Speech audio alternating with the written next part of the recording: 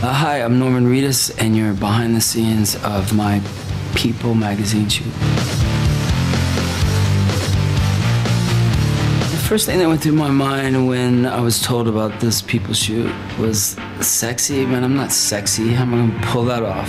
And then they told me, oh, you're gonna do it with your cat. So I thought, good, everyone will just be looking at the cat. So that's sort of a bonus. My cat's name's Eye in the Dark. And when my son was about five years old, he said to me, Daddy, I need a little black kitten. And I was like, why? And he goes, I just, I need a little black kitten.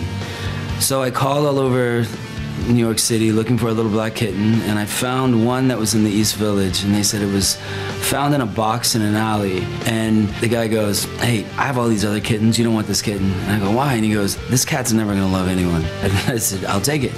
And now the cat's just a big fluff love ball. At that time, I had all black floors, and my son couldn't see it except for its eyes. So I said, What are you gonna name it? And he goes, Eye in the Dark. And I was like, All right, cool. Chicken. Moist.